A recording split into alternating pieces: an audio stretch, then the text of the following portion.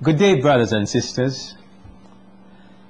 It's really a privilege to be able to share with you again today. I want to return to the subject of the Trinity again. And this is not because I, I am fond of belaboring the same point. But there are so many different avenues to this subject, and it seems like every day you hear of some new objection, some new angle that somebody wants to bring in.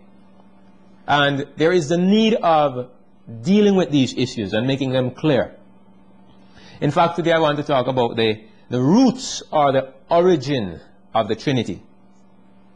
And I think this is really necessary because there are, I, I've read a number of articles in which the writers have been claiming that the doctrine of the Trinity really originated with the Old Testament writers.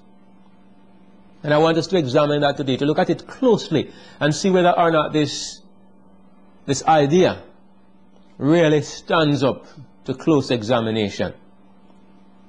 Now, you know, I'm, I'm feeling a bit constricted standing behind this pulpit. But, for the sake of the video, I'm going to do my best to not move about too much.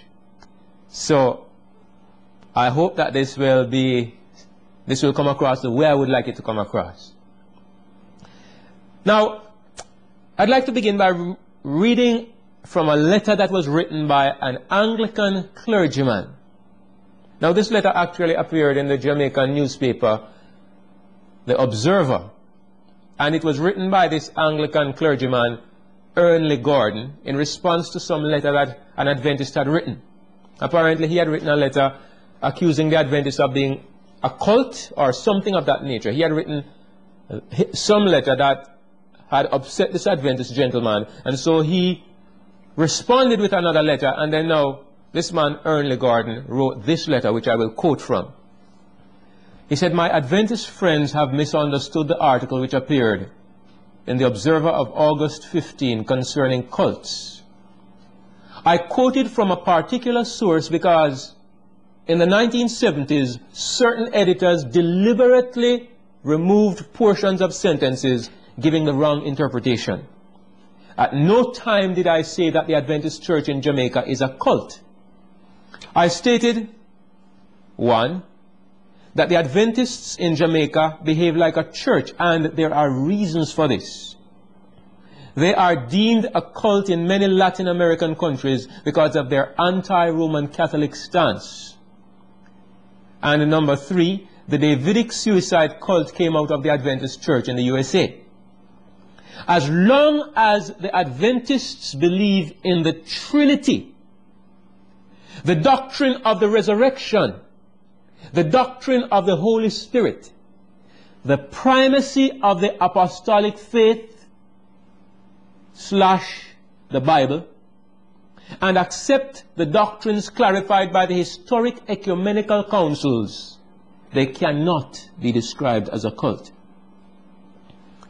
Now this letter, I found it to be very interesting. And if you, if you look closely at, at what it is saying, you will understand why. Because this man says that there are certain qualifications that Adventists have which disqualify them from being a cult. And one of them is that they believe in the doctrine of the Trinity. And they believe in the doctrines that were clarified by the historic ecumenical councils. We'll discuss that a little, a little further on. And because they believe in the primacy of the apostolic faith slash the Bible. Anybody who is in the Protestant tradition of Christianity will become suspicious at that term.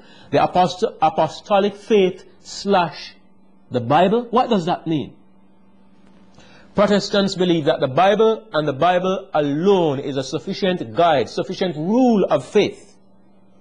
But here this gentleman is bringing in something else. The primacy of what he calls the apostolic faith. And the doctrines clarified by the historic ecumenical councils. If you are a Roman Catholic, or I suppose an Anglican, this is perfectly natural for you to believe. Perfectly natural for you to stand upon this foundation. But not if you are a Seventh-day Adventist or any other kind of Protestant.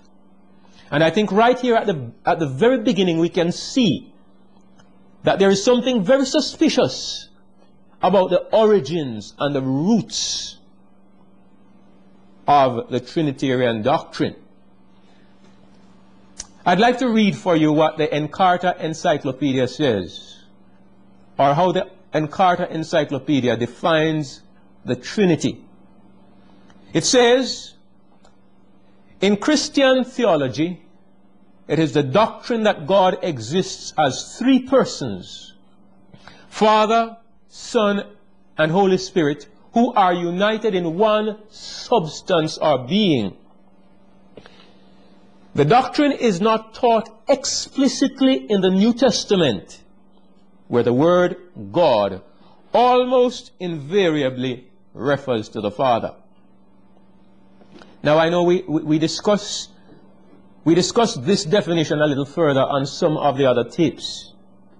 But I want you to just think about that carefully. This doctrine was not explicitly stated in the New Testament. There, the word God almost invariably refers to the Father. That's interesting. When then, if not in the New Testament, when did the word Trinity, or when did the word God come to mean more than one person? And the same article continues. The term Trinitas was first used in the second century by the Latin theologian Tertullian. But the concept was developed in the course of the debates on the nature of Christ. In the fourth century, the doctrine was finally formulated. That is something to make us think, brothers and sisters. A doctrine that was formulated 400 years after Christ.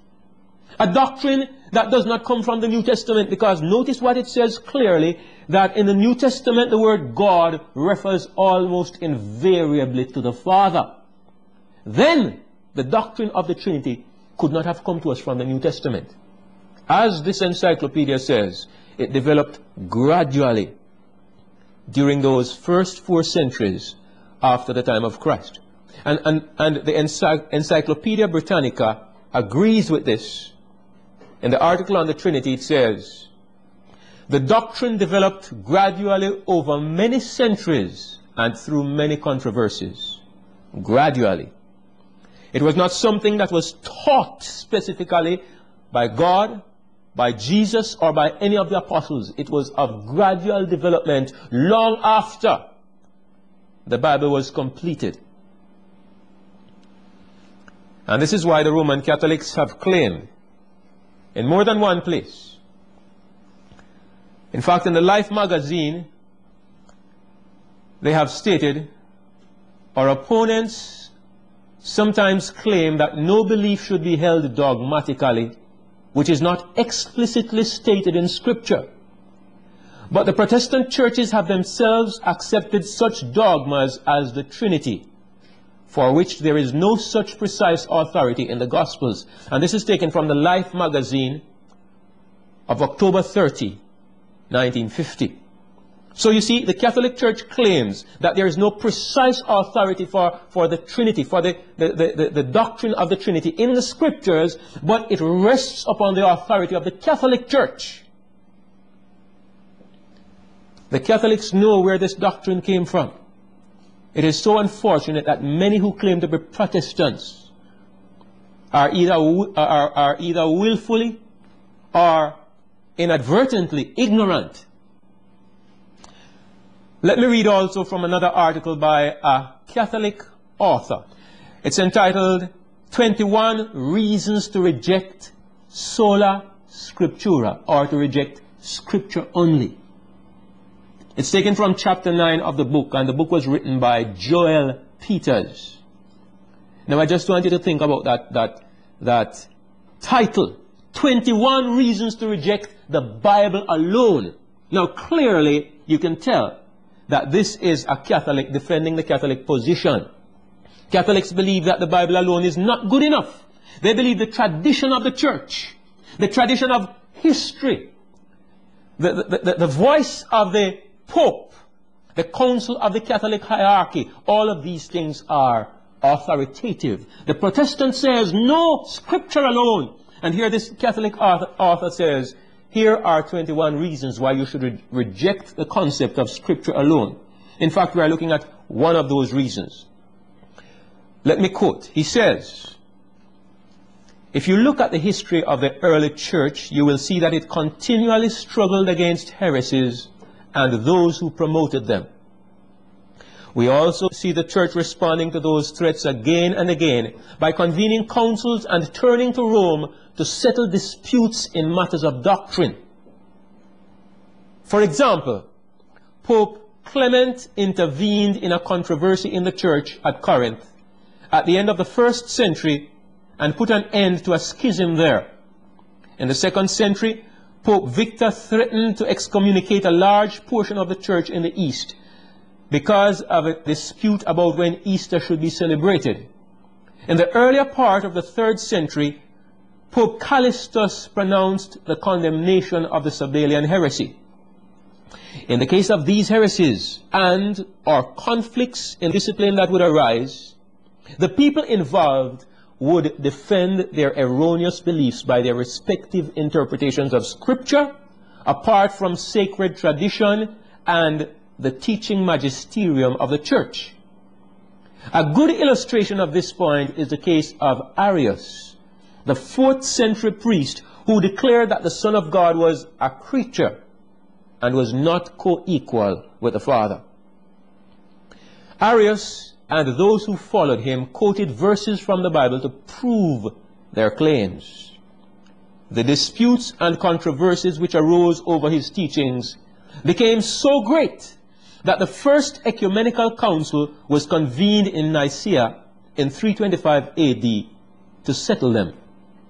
The council, under the authority of the Pope, declared Arius's teachings to be heretical and made some decisive declarations about the person of Christ. And it did so based on what sacred tradition had to say regarding the scripture verses in question.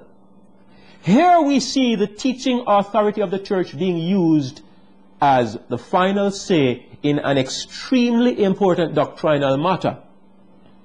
If there had been no teaching authority to appeal to, then Arius' error could have overtaken the church. As it is, a majority of the bishops at that time fell for the Arian heresy. Even though Arius had based his arguments on the Bible and probably compared scripture with scripture, the fact is that he arrived at an heretical conclusion.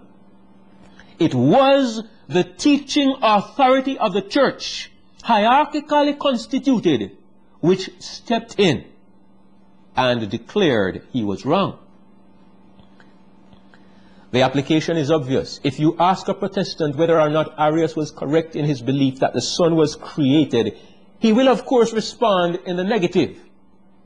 Emphasize then that even though Arius presumably compared Scripture with Scripture, he nonetheless arrived at an erroneous conclusion.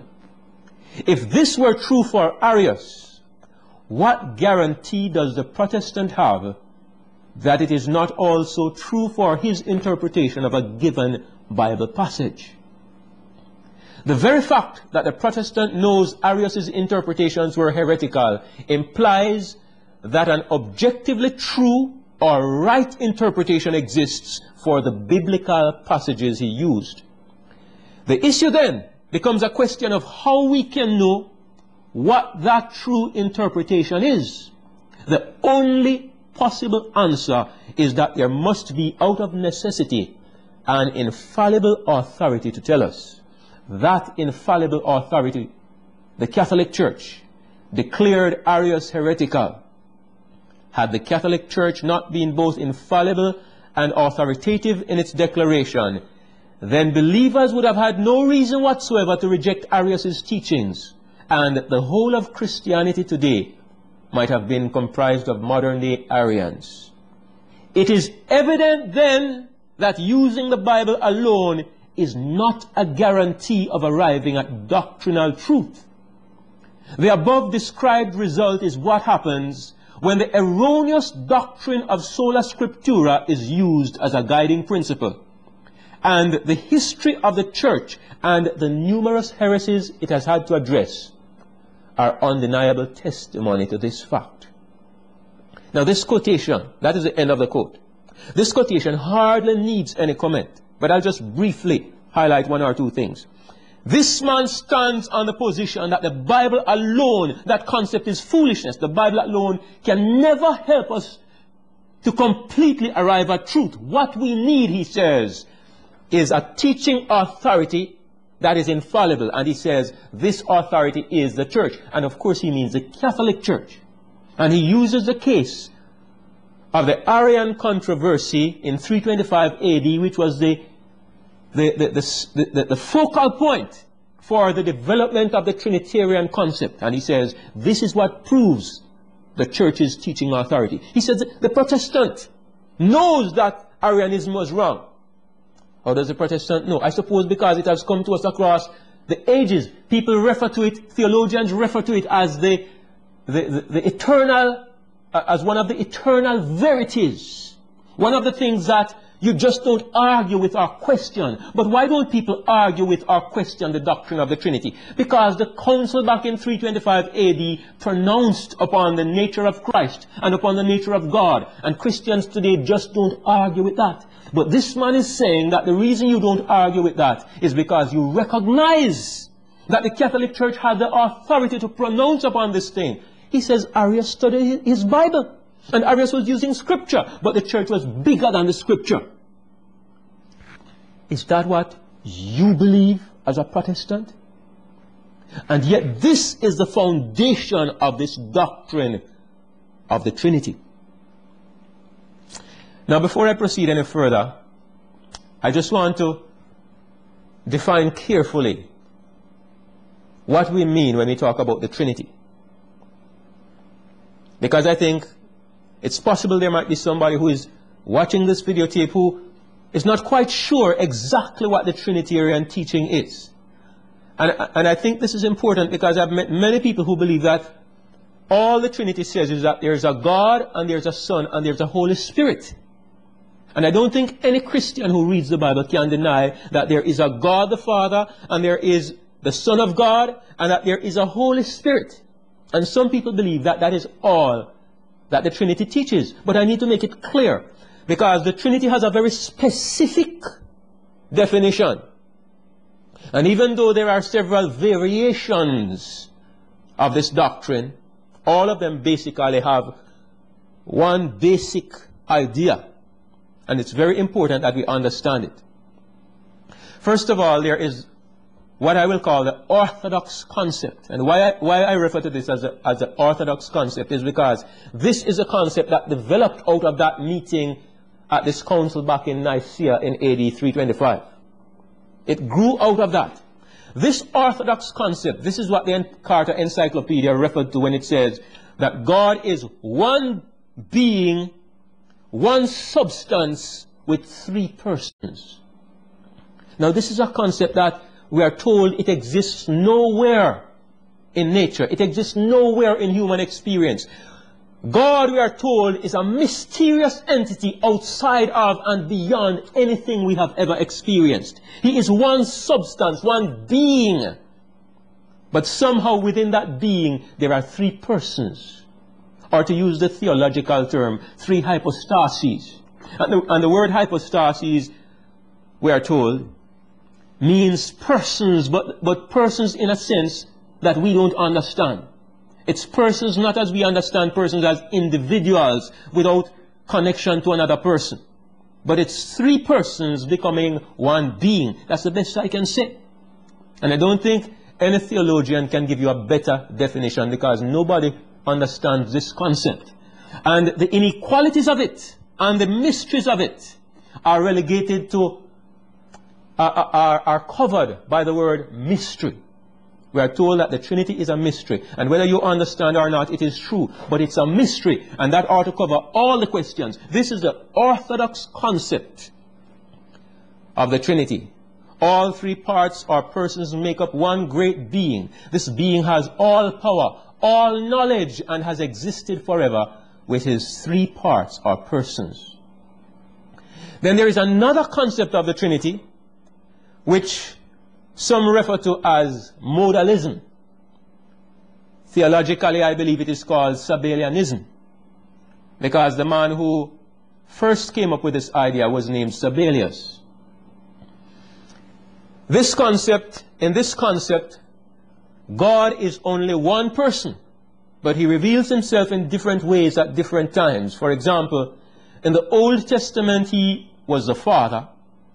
Then he, the same person, took on the form of the Son when Christ came to earth. And afterwards, he became the Holy Spirit. This belief is commonly referred to as the Jesus only doctrine. Then there is what I would call a tritheistic concept. And of course, you know the word tri tritheist simply means one who believes in three gods. Tritheism is a belief in three gods. And I suppose even Trinitarians who believe in three, in three gods will deny that they believe in three gods. But when you look at the definition of the word, you will see that if there is any honesty and straightforwardness, what we are talking about is three gods, and there can be no logical denying of that fact. In this concept, there is the belief that there are three almighty beings or persons who have all exactly the same authority, the same power, and who have all lived together for all eternity. All three are said to be God, absolutely and fully divine in the fullest possible sense. But because they are in agreement in everything they do, they are said to be one God. You can tell right away that what we are doing here is redefining the word God. We are using the word God to speak about agreement between three gods. According to this, this belief, these three beings or gods decided long, long ago to act in three different roles.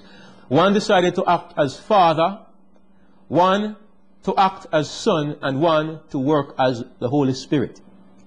Now, the Trinity is regarded as being so sacred, so untouchable,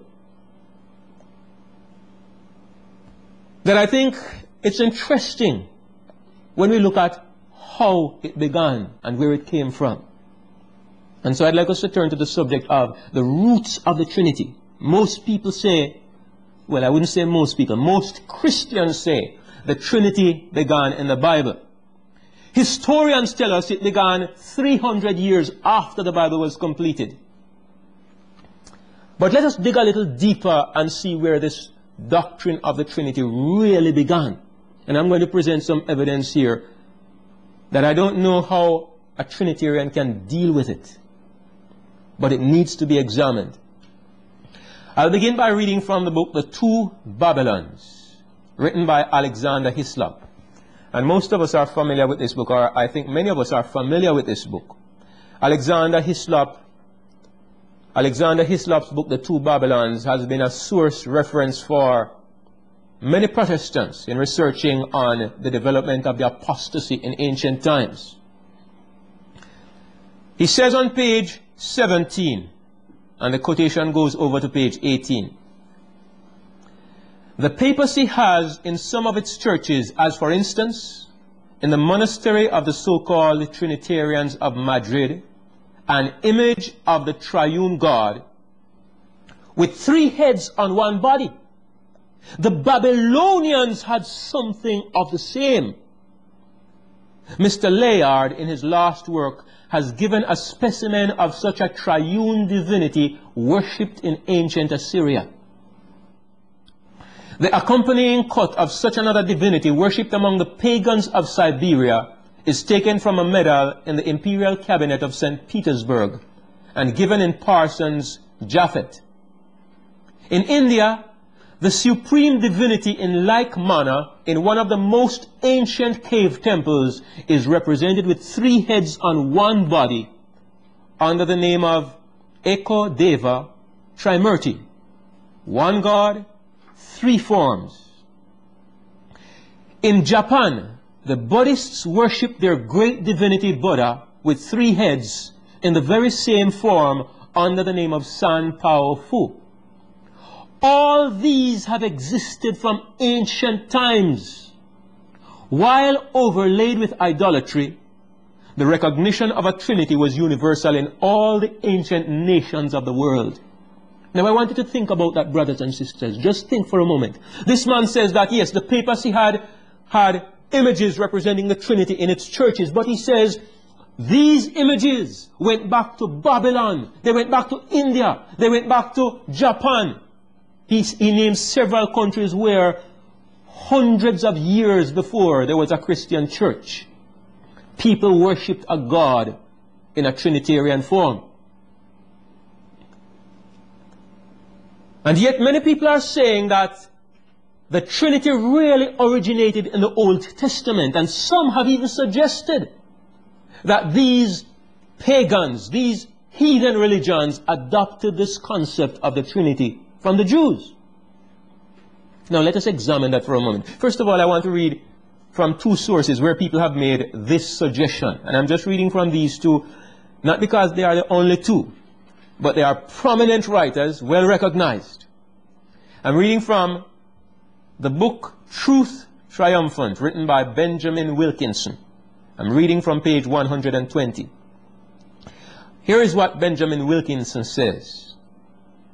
He says the revelations of the Old Testament had disclosed the Trinity. In a disfigured and uncouth semblance, Zoroaster proclaimed his pieces of a Trinity. Let me pause here to just comment. Zoroaster is the person who founded the Persian religion called Mithraism. And he's saying here that Zoroaster modeled his version of the Trinity upon something he gained from the Old Testament. He says the Old Testament had disclosed the, the, Trinity. It's interesting that Benjamin Wilkinson does not tell us where the Old Testament discloses this Trinity. It would be very interesting to find where exactly in the Old Testament he finds this Trinity disclosed because the people who wrote the Old Testament, the Jews, are convicted today have always been convicted from the very beginning of their existence as a nation that there was only one God, one person, one being. Moses wrote the first five books of the Bible. Moses never believed, there's not a hint that Moses believed in a God who was more than one person. Yet Wilkinson here says that the Zoroastrians, the Persians, developed their concept of the Trinity from the Old Testament. That is interesting. He says, he continues by saying, he, that is Zoroaster, placed at the head of his celestial hierarchy Ormazd, otherwise called Ahura Mazda, the great wise spirit, and Ahriman, the supreme evil spirit, who was the co-evil and rival god of darkness, dwelling in the bottomless pit of night. With them he associated in a marked way Mithra, the god of light, who was the sun and an embodiment of sun worship. As the sun was neither in the heavens nor on earth, but swung in an intermediate position between heaven and earth, so Mithra was the great mediator. When Mithraism had overspread the Roman Empire, Mithra was said to be the champion of sinners, the companion after death, and the guide of the soul into the heaven of heavens. I want you to remember that definition that, uh, that Zoroaster came up with, that definition of God. In fact, we're going to talk about it again a little further down. But remember that definition, because Benjamin Wilkinson says he got it from the Old Testament. Alexander Hislop says the same thing in the two Babylons. On page 18, he says, While overlaid with idolatry, the recognition of a Trinity was universal in all the ancient nations of the world, proving how deep-rooted in the human race was the primeval doctrine on this subject, which comes out so distinctly in Genesis. The triune emblem of the Assyrian divinity shows clearly what had been the original patriarchal faith. That is amazing. Alexander Hislop says that the, the, the, the, Assyrians maintained their concept of a Trinitarian, a triune God. And this shows that the, the early Hebrews had maintained this concept. But the strange thing, my brothers and sisters, is that while the Assyrians, the Zoroastrians, and all these people maintained a Trinitarian concept, the Jews never did. Did they lose it in the darkness of Egypt? Well, God brought them out of Egypt, gave them His laws, gave them a concept of Himself far superior to anything they had ever seen, that was ever seen in paganism. And yet God never revealed that He was a Trinity, that even today, and in every age, the Jews have believed that God is a single individual, not a Trinity. Something is very wrong. Commentators today Many of them, Trinitarians, claim that the word Elohim, the Hebrew word Elohim, discloses the idea of a Trinity. As we have seen, Alexander Hislop says that the, the Trinitarian concept of God comes out so clearly in Genesis. Again, like Benjamin Wilkinson, he offers no evidence to back up what he says. Because you may read Genesis through from the first word to the last word in the last chapter, and you will not find a Trinitarian God. The word Elohim, it has been said that this Hebrew word signifies a plurality of persons within the Godhead. Since it is a plural form of the word El, which means God. But what is very significant is the fact that although this is a Hebrew word, the Hebrews themselves, who best understand their own language, have never and still do not believe in a plurality of gods. I mean, is it possible for somebody to study somebody's language and understand meanings in that language, meanings in the words that were formulated by the people themselves, that the people themselves never knew, never saw? There is so much that is illogical and unreasonable in this line of argument that it is a marvel that so many people have swallowed it, have accepted it. Hook, line, and sinker. It's amazing. It just doesn't make sense when you examine it closely. The Shema. The primary tenet of Jewish faith is, Hear, O Israel, the Lord thy God is one Lord. And this contains the very word Elohim. And yet it is the immovable basis upon which the Jews anchor their concept of a single God who is one great being. The word Elohim, in fact, and I think we dealt with this in one of our other tapes, but I'm just going to briefly revise a little bit of it. The word Elohim really carries the meaning of the divine majesty. It is what is called the divine plural to bring out the concept of the majesty and the greatness of God instead of adding an adjective. What happens here in the Hebrew language is that the word Elohim is pluralized. And in this way, the concept of God as a, as a, as a, as a great being, as a divine being, as a majestic being, is brought out. And this is the, the, the, the, the opinion of many Bible scholars. And when you look at the way the word is used, you have to conclude that it really seems to be the real meaning of this word Elohim in many cases, in many instances. The, the word is used to refer to Jehovah, the true God, many times. This we accept. But if Elohim really means gods, then what it means is that the Jews did not worship one God because Elohim means literally gods. And yet God said that there is only one God. He said there's only one Elohim. Is there only one gods? Does that make sense? In Exodus 7 and verse 1, we see the same usage of the word when God says to, to Moses, I have made thee a God to Pharaoh. I have made thee a Elohim to Pharaoh. Clearly, he did not mean he was making Moses into a trinity or into any kind of plurality of gods. In Judges 16 and verse 23, the lords of the Philistines gathered together to offer a great sacrifice to Dagon, their god, their Elohim. Again, Dagon was an individual idol. Dagon was, was one of those those idols that the, the Philistines worshipped who had a, a fish's body.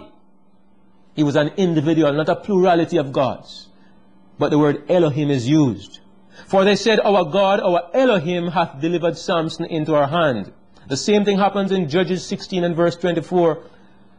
When the people saw him, they praised their God, their Elohim. For they said, Our God, our Elohim, hath delivered into our hands our enemy.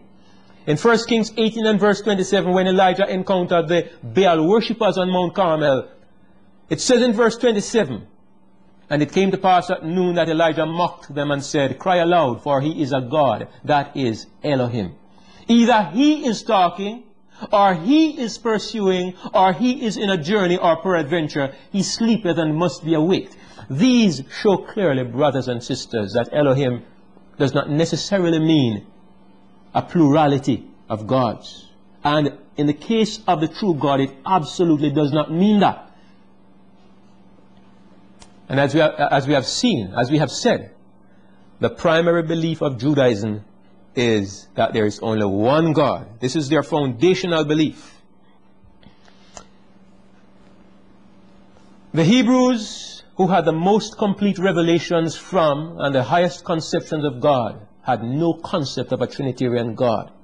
But they insisted strongly upon the very opposite. And every one of us who is able to think must consider that these people whom God chose and to whom he revealed himself most fully had no concept of a Trinity, while the heathen all around them had this concept. Did these heathen have a better understanding of the nature of God than did the Jews?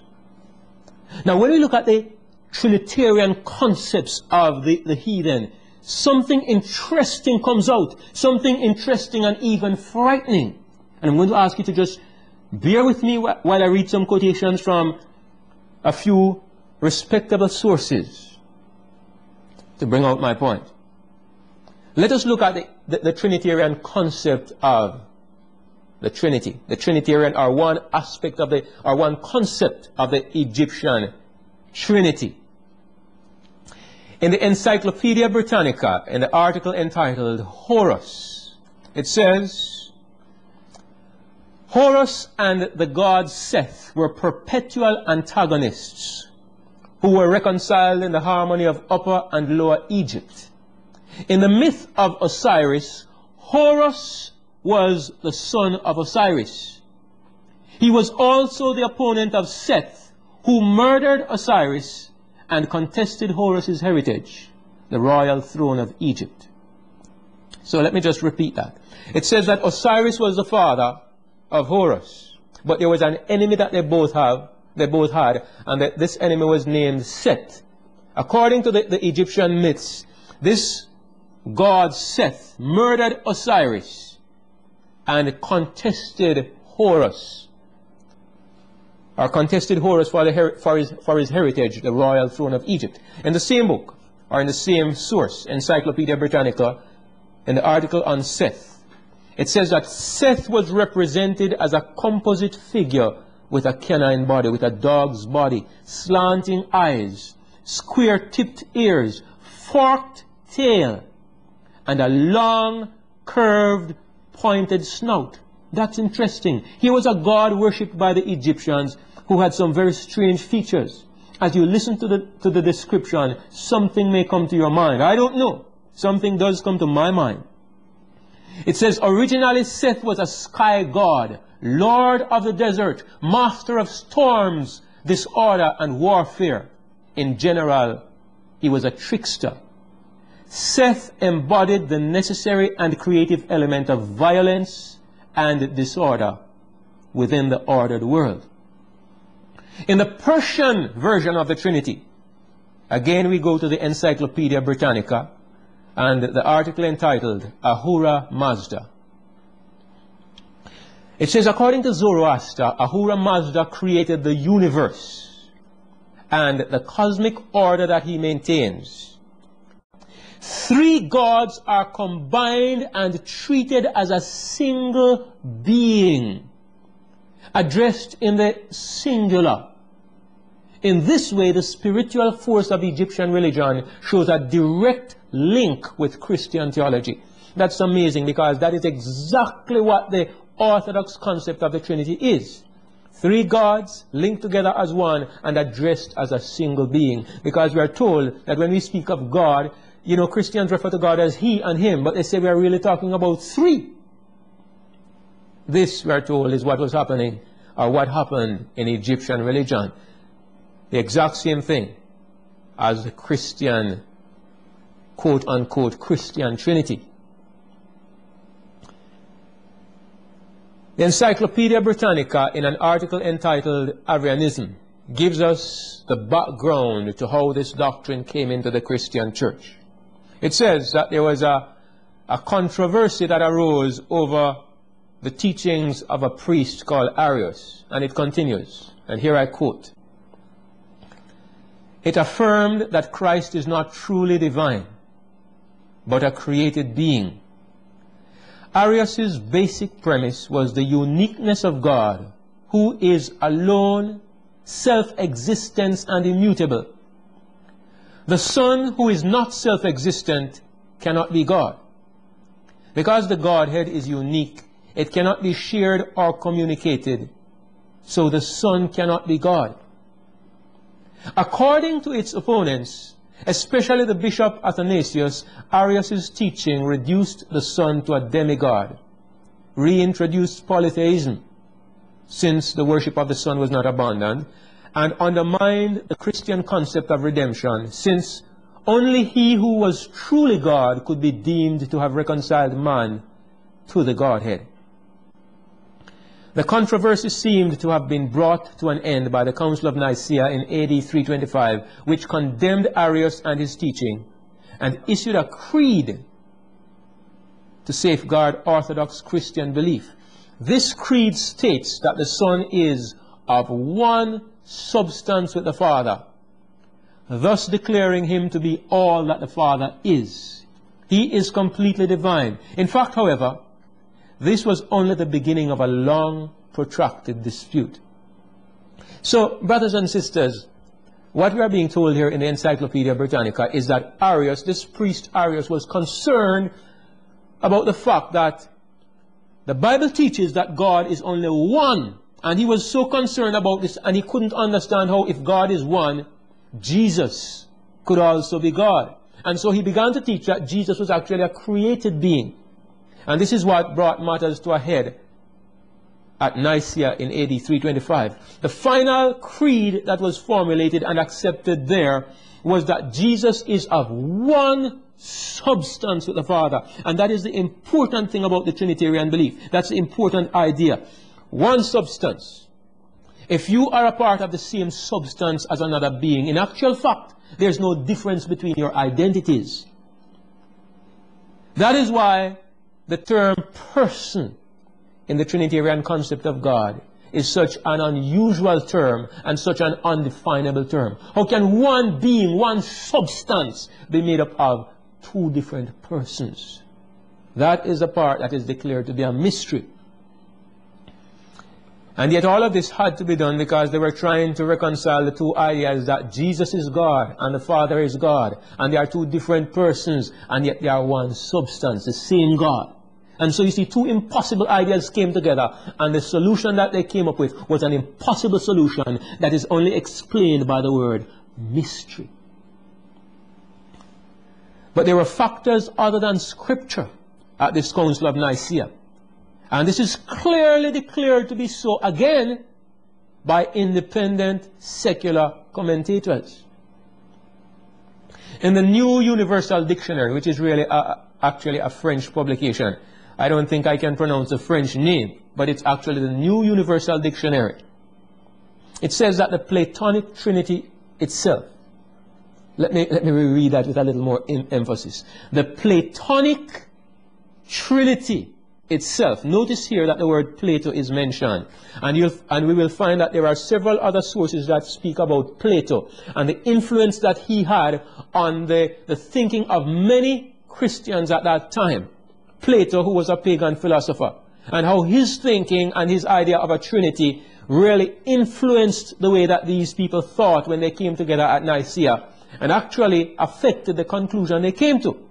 This dictionary says, the Platonic Trinity itself, merely a rearrangement of older trinities dating back to earlier peoples, appears to be the rational philosophic trinity of attributes that gave birth to the three hypostases or divine persons taught by the Christian churches.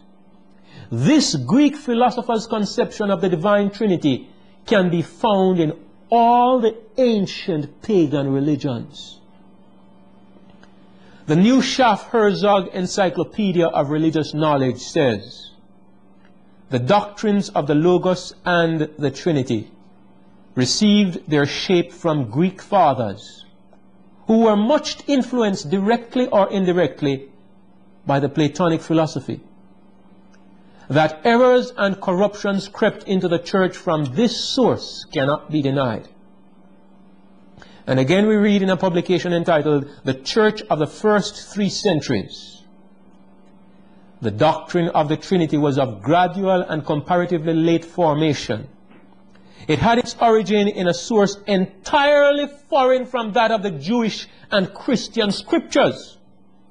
It grew up and was engrafted on Christianity through the hands of the Platonizing fathers.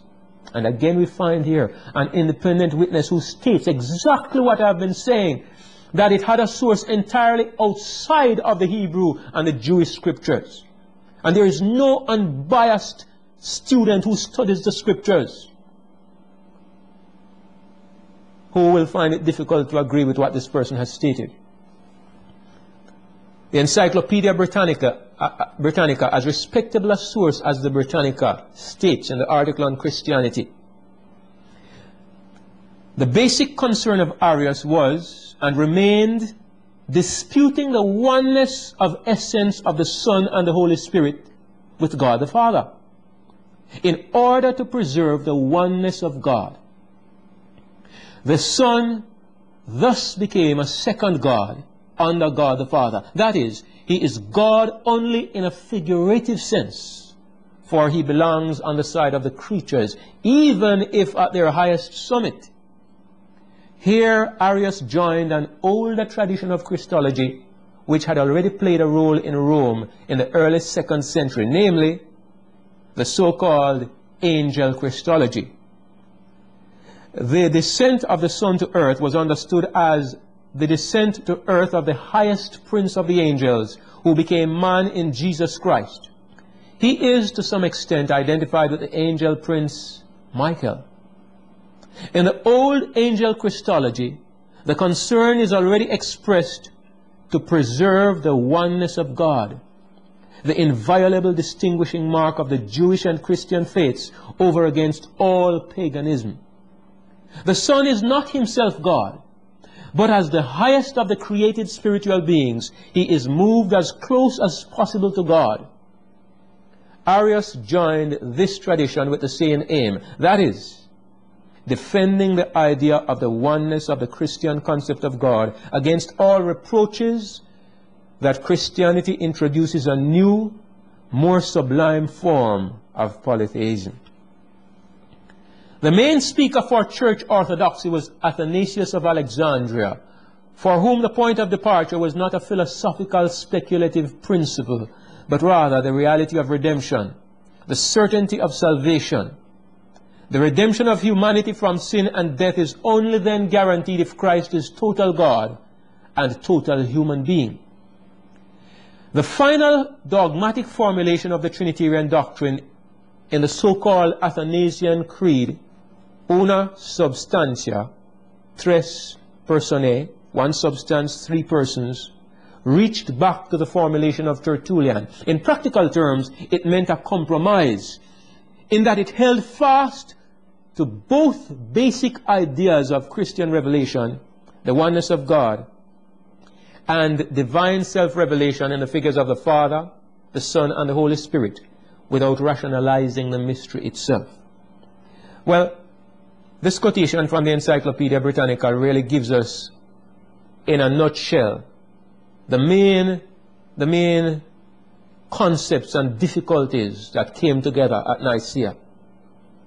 Arius, on the one hand, wanted to preserve the idea that God was a single person. He could not see how God could be one and at the same time there are two persons, or even three, within God. The Athanasians, on the other hand, were determined to reconcile both ideas. God is one, and yet God is, there are two persons, three persons who are God. And they brought these two ideas. The Britannica says in the end they ended up with a compromise. And this compromise consisted of enunciating the idea without explaining it. One God, three persons. No explanation, but simply enunciating it. Why, you may ask? Why did it have to become a question of was he creature or was he God? I mean, why wasn't the plain biblical middle ground taken? He was not a creature. The Bible never says Jesus is a creature. But neither does the Bible teach that Jesus is God himself. There is a middle ground. What the Bible teaches that he was the divine Son of God. Why did not both parties take the plain, simple, biblical middle ground? Again, we find an answer in the Encyclopedia Britannica. It says, From the outset, the controversy between both parties took place upon the common basis of the Neoplatonic concept of substance. Again, you find here, Plato comes into the picture. The concepts of Plato were so embedded into the minds of these men that they could not escape its influence in this council. The Britannica says that the controversy took place upon the common basis of the Neoplatonic concept of substance, which was foreign to the New Testament itself. It is no wonder that the continuation of the dispute on the basis of the metaphysics of substance likewise led to concepts that have no foundation in the New Testament, such as the question of the sameness of essence, homoousia, or similarity of essence, homoiousia, of the divine persons. And if you're not familiar with the whole debate, you know, one group of people said that he was of the same substance. The, the Arian said he is of similar substance, but not the same substance. But the Trinitarian said he's the same substance. And it, it, it, it, it the, the, the, debate took place around one single little word, two little words, homoousia or homoiousia, with a, with a single I in the middle uh, uh, of one word being the basic difference between whether it meant the same substance or similar substance. I read someplace that it was from this controversy that the term developed. It does not matter one iota. Because, you know, that little iota in the middle of the word was what they were arguing about. But of course, it wasn't just an iota. It was an important, important issue. Is Jesus God himself or is he a different being from God? The argument was based on philosophical concepts, the, Britannica, the, the Britannica says, which were not in the Word of God. Please note that even though this council form, formally declared that Jesus was begotten and not made, if you will read what is called the Apostolic Creed, you will see that it, it says that he was begotten and not made. But the statement that he is of the same being as the Father, the same substance, makes a mockery of the term begotten. Since he is of the same substance, the same being, then he cannot have been the Son of God in any understandable sense. In truth, I think Arius was closer in saying that the Father and the Son were of similar, but not the same substance. A father and son always are of the same kind of substance. My son is of, is of flesh, human flesh. He carries my, my, my blood type. My genes are identical to his. Or he carries elements of my genes in his body. Because he is my son.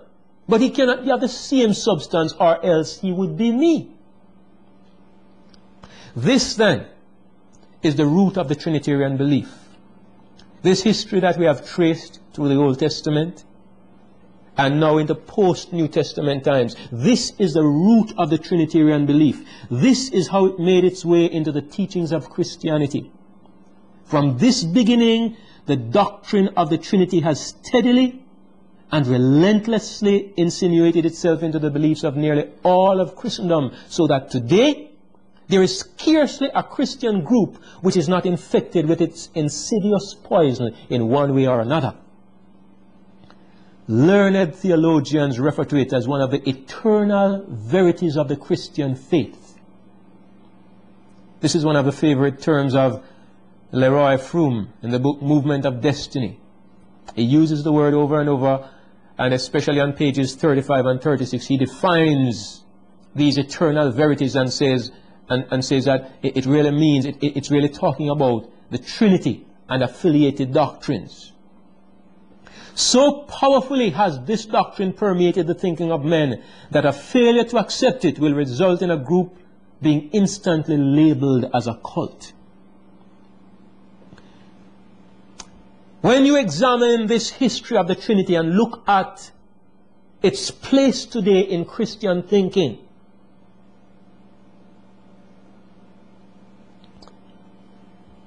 you think it's easy to believe, it's easy to believe that the biblical teaching has been fulfilled. When it says that the time will come when they will not endure sound doctrine. When the Bible testifies that a time would come when darkness would cover the earth and gross darkness the people. It's not difficult to understand that this time has arrived when you, when you see that this basic teaching of Christian faith, the teaching concerning God, has been so perverted and corrupted, and yet the perversion is accepted and held up as the great standard without which you cannot be accepted as a Christian. Things have truly been turned upside down in the kingdom of God. But you know, that is the dark side of it. The brighter side, brothers and sisters, is that God will never bring his work to a close until things are made right. The message that, that John the Baptist brought, the message that was prophesied in Isaiah was that John the Baptist said to the people, Behold your God. Revelation 14 shows us a people who go out and they proclaim.